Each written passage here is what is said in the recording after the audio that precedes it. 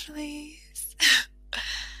this is chapter two of Why Does He Do That? Inside the Minds of Angry and Controlling Men by Lundy. I forgot his surname. by that guy. And the title of this chapter is The Mythology. And so let's dive into it. Here are a couple of sayings from woman. He's crazy. He feels so bad about himself. I just need to build up his self image a little. He just loses it. He's so insecure. His mother abused him, and now he has a grudge against women, and he takes it out on me. I'm so confused. I don't understand what's going on with him. In one important way, an abusive man works like a magician. he tricks largely sorry.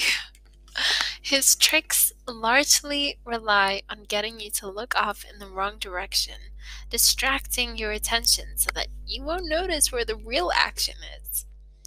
He draws you into focusing on the turbulent world of his feelings to keep your eyes turned away from the true cause of his abusiveness, which lies in how he thinks. He leads you into a convoluted maze, making your relationship with him a labyrinth of twists and turns. He wants you to puzzle over him, to try to figure him out, as though he were a wonderful broken machine for which you need only to find and fix the malfunctioning parts to bring it roaring to its full potential. His desire, though he may not admit it even to himself, is that you rack your brain in this way so that you won't notice the patterns and logic of his behavior, the consciousness behind the craziness. To further divert your gaze, he may work to shape your view of his past partners, to keep you from talking to them directly, and to prepare you to disbelieve them should you happen to hear what they say. If you could follow the thread of his conduct over a series of relationships, you'd find out that his behavior isn't as erratic as it looks. In fact, it follows a fairly consistent pattern from woman to woman, except for brief relationships or ones he isn't that serious about. Above all, the abusive man wants to avoid having you zero in on his abusiveness itself. So he tries to fill your head up with excuses and distortions and keep you weighed down with self doubt and self blame. And unfortunately, much of the society tends to follow unsuspectingly along behind him, helping him to close your eyes and his own to his problem. The mythology about abusive men that runs through modern modern modern culture has been created largely by the abusers themselves. Abusive men concoct explanations for their actions, which they give to their partners, therapists, clergy people, relatives, and social researchers. But it is a serious error to allow abusers to analyze and account for their own problems. Would we ask an active alcoholic to tell us why he or she drinks and then accept the explanation unquestion- unquestioningly? this is what we would hear. I drink because I have bad luck in life. I actually don't drink much at all. It's just a rumor that some people have been spreading about me because they don't like me. I started to drink a lot because my self esteem was ruined by all these unfair accusations that I'm alcoholic, which I'm not. I'm sorry, this is just so funny to me. And I'm quite tired, so it's a little bit of delirium mixed in there.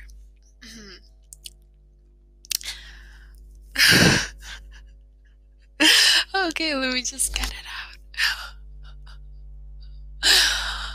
Ah, oh, this is too good. Yes, that is a perfect example. Oh. When we hear these kinds of excuses from a drunk, we assume they are exactly that excuses We don't consider an active alcoholic a reliable source of insight, so why should we let an angry and controlling man be the authority on partner abuse? Our first task, therefore, is to remove the abusive man's smoke and mirrors and then set up set about watching carefully to see what he's really doing. Brief exercise. In my public presentations on abuse, I often begin with a simple exercise. I ask the audience audience members to write down everything they've ever heard or ever believed about where an abuser's problem comes from. I invite you to close this book for two or three minutes now and make a similar list for yourself so that you can refer to it as we go along. Okay, you better do what he says.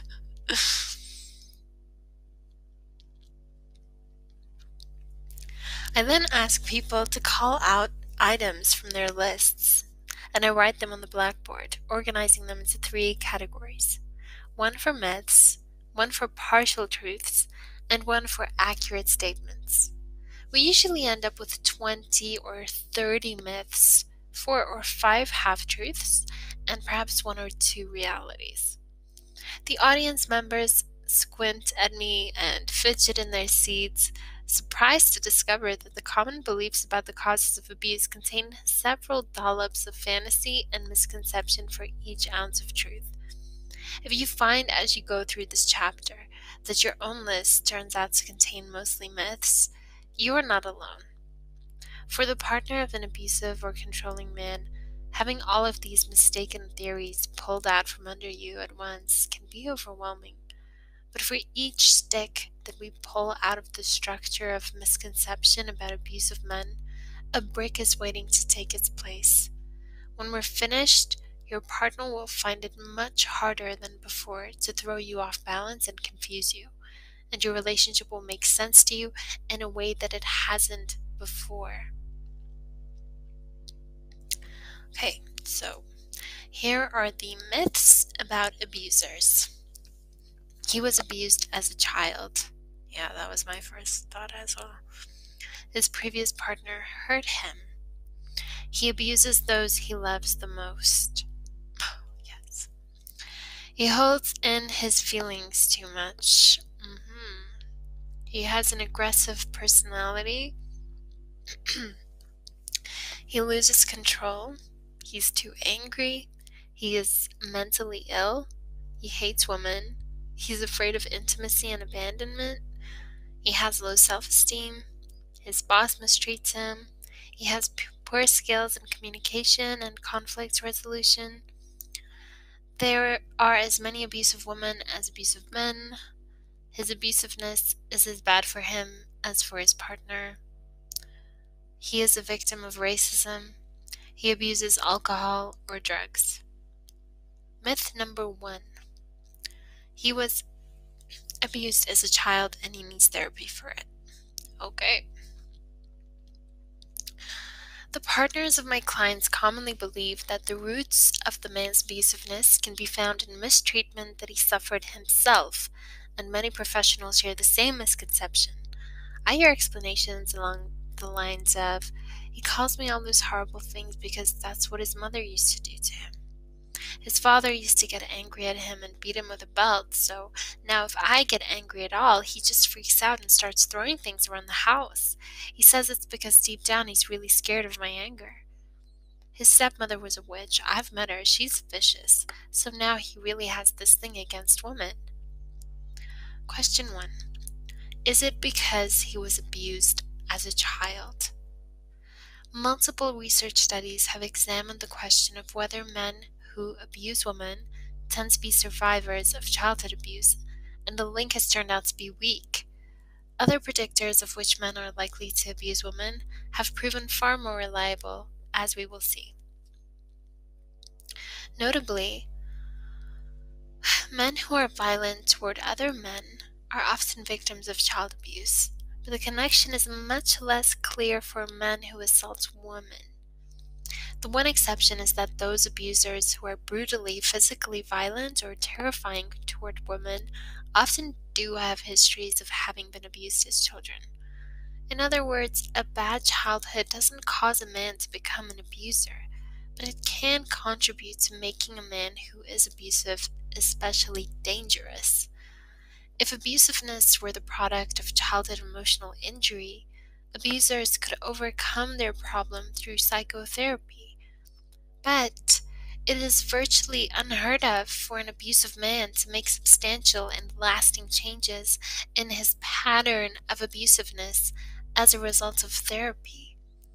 In chapter 14, we'll examine the differences between psychotherapy and a specialized abuser program because the latter sometimes can bring good results.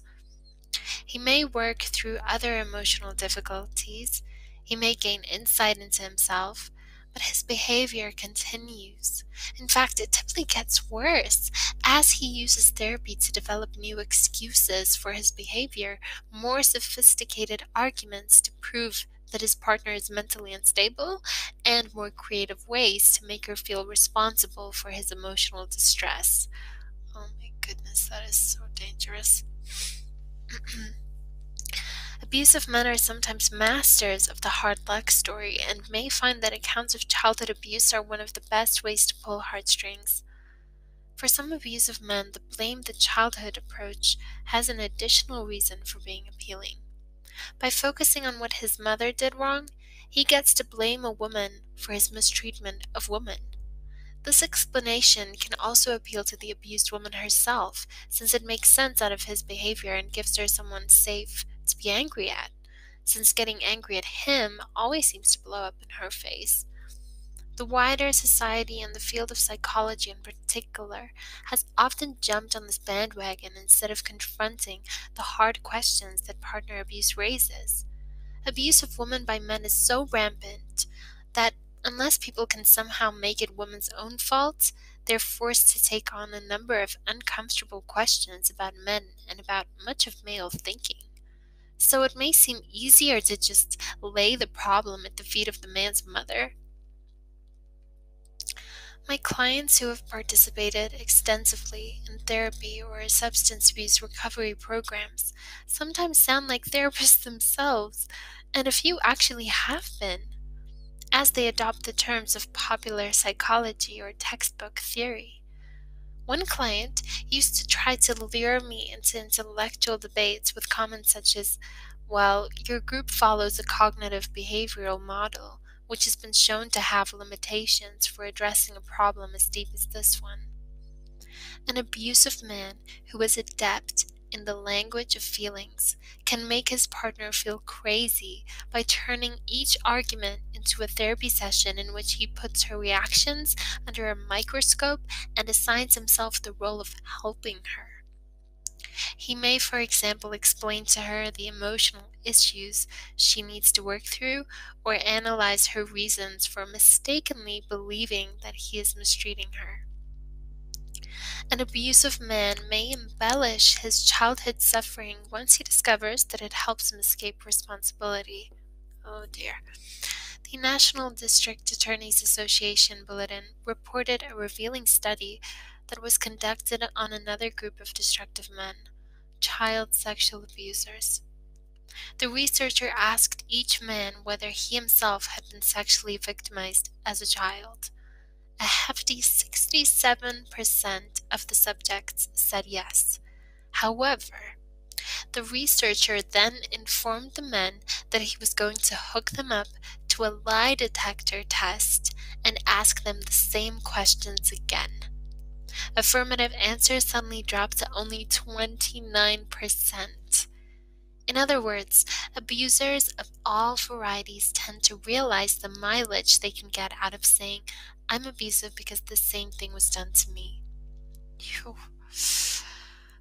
Although the typical abusive man works to maintain a positive public image, it is true that some women have abusive partners who are nasty or intimidating to everyone. How about that man? Do his problems result from mistreatment by his parents? The answer is both yes and no. It depends on which problem we're talking about. His hostility toward the human race may sprout from cruelty in his upbringing, but he abuses women because he has an abuse problem. The two problems are related but distinct. I am not saying that you should be unsympathetic to your partner's childhood suffering. An abusive man deserves the same compassion that a non abusive man does, neither more nor less. But a non abusive man doesn't use his past as an excuse to mistreat you. Feeling sorry for your partner can be a trap, making you feel guilty for standing up to his abusiveness. I have sometimes said to a client, if you are so in touch with your feelings from your abusive childhood, then you should know what abuse feels like. You should be able to remember how miserable it was to be cut down to nothing, to be put in fear, to be told that the abuse is your own fault. You should be less likely to abuse a woman, not more so, from having been through it. Once I make this point, he generally stops mentioning his terrible childhood. He only wants to draw attention to it if it's an excuse to stay the same, not if it's a reason to change. Whew.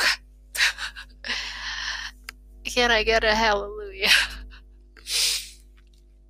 okay, I've got about um, 16 minutes left. Should I carry on to myth number two? Yeah, let's do it. He had a previous partner who mistreated him terribly, and now he has a problem with women as a result. He's a wonderful man, and that beat made him get like this. As we saw with Fran in chapter 1, an abuser's bitter tale of emotional destruction by a past wife or girlfriend can have a powerful impact on his current partner. In the most common version of the story, the man recounts how his ex partner broke his heart by cheating on him, perhaps with several different men. If you ask him how he found out, he answers that everybody knew about it or that his friends told him. He also may say, I caught her cheating myself. But when you press him on what he actually saw, it often turns out that he saw nothing or that he saw her talking to some guy or riding in his car late at night, so I could tell. He may describe other wounds he received from a previous partner. She tried to control him, she wouldn't let him have any freedom, she expected him to wait on her hand and foot, she turned their children against him, she even had him arrested out of vindictiveness. What he is describing usually are his own behaviors but he attributes them to the woman so that he is the victim. He can gain sympathy from his new partner in this fashion, especially because so many women know what it's like to be abused, unfortunately, so they can connect with his distress. The abusive or controlling man can draw a rich set of excuses from his past relationships for controlling his current partner's friendships and for accusing her of cheating on him because my ex partner hurt me so badly by cheating on me so many times, and that's why I'm so jealous and can't trust you. For throwing a temper tantrum when he, she asks him to clean up after himself. My ex partner controlled my every move, and so now it makes me furious when I feel like you're telling me what to do. For having affairs of his own or keeping other love interests going on the side. I got so hurt last time that now I'm really afraid of committing, so I want to keep having involvements with other people. He can craft an excuse to fit any of his controlling behaviors. I recommend applying the following principle to assertions that an angry or controlling man makes about past women in his life. If it's an excuse for mistreating you, it's a distortion. A man was genuinely mistreated in a relationship with a woman would not be using that experience to get away with hurting someone else. Consider the reverse situation for a moment. Have you ever heard a woman claim that the reason why she's chronically mistreating her male partner is because a previous man abused her? I have never run into this excuse in the 15 years I have worked in the field of abuse. Certainly, I've encountered cases where women had trouble trusting another man after leaving an abuser, but there is a critical distinction to be made. Her past experiences may explain how she feels, but they are not an excuse for how she behaves, and the same is true for a man. When a client of mine blames a past relationship for his cruel or controlling behavior in the present, I jump in with several questions. Did your ex partner ever say that she felt controlled or intimidated by you? What was her side of the story? Did you ever put your hands on her in anger or did she ever get a restraining order? By the time he's finished providing his answers, I usually can tell what happened. He abused that woman too. It's fine to commiserate with a man about his bad experience with a previous partner, but the instant he uses her as an excuse to mistreat you, stop believing anything he tells you about that relationship and instead recognize it as a sign that he has problems with relating to women. Track down his ex partner and talk with her as soon as possible, even if you hate her. An abuser can mistreat partner after partner in relationships, each time believing that the problems are all the woman's fault and that he is the real victim. Whether he presents himself as the victim of an ex partner or of his parents, the abuser's aim, though perhaps unconscious, is to play on your compassion so that he can avoid dealing with his problem. Amen.